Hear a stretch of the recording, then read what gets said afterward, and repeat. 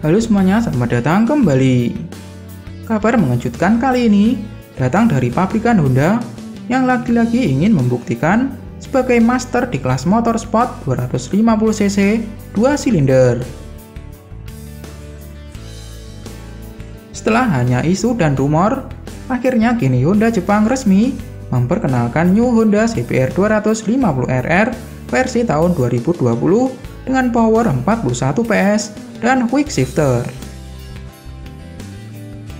Generasi terbaru New Honda CBR 250RR versi tahun 2020 ini sudah mendapatkan sentuhan dari sisi dapur pacu dengan memastikan adanya kenaikan tenaga yang cukup signifikan dibanding dengan generasi sebelumnya yaitu tembus menjadi 41 PS. Pada generasi terbaru versi tahun 2020, New Honda CBR 250RR powernya naik drastis hingga 3 PS. Selain ledakan tenaga yang melejit, akselerasinya juga lebih baik dibandingkan dengan generasi lama. Kenaikan torsi tercatat lebih besar 1,9 Nm. Lalu pertanyaannya, bagaimana bisa Honda menaikkan tenaga New Honda CBR 250RR versi tahun 2020 hingga 3 PS dari 38 PS menjadi 41 PS? Jawabannya adalah optimalisasi. Basis mesin Honda CBR 250RR yang sudah kencang tinggal mendapatkan beberapa sentuhan di antaranya adalah penggunaan piston bentuk baru untuk meningkatkan kompresi yang sebelumnya berada di rentang 11,5 dibanding 1 menjadi 12,1 dibanding 1. Selain itu, Honda juga memperkuat connecting rod termasuk material ring piston yang lebih baik. Power juga terkontrol karena Honda melakukan perombakan ulang pada balancer shaft axis yang membuat rotasi maksimum speed jadi lebih tinggi dan minim gesekan.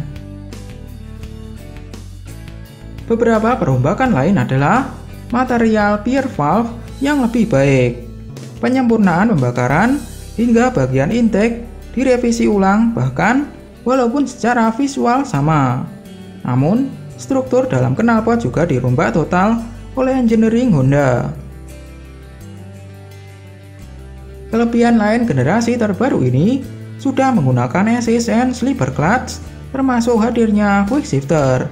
Namun perangkat ini dijual Honda Jepang secara terpisah dengan bandrol di kisaran 25.300 yen atau sekitar 3,4 jutaan.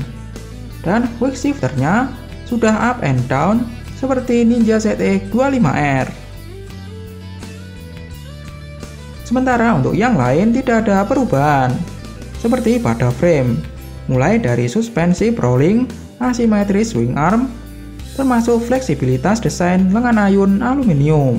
Dengan konfirmasi kehadiran Honda New CBR 250RR versi tahun 2020 yang sudah memiliki power 41 PS, bisa dipastikan Honda New CBR 250RR versi tahun 2020 menjadi raja di kelas 250cc 2 silinder jauh meninggalkan para rivalnya.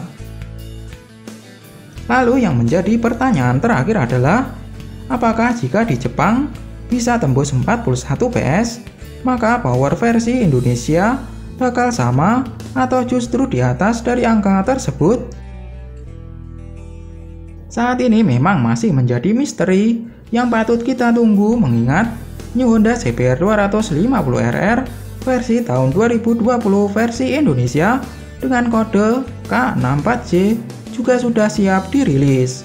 Jadi, kita tunggu versi Indonesia sebentar lagi.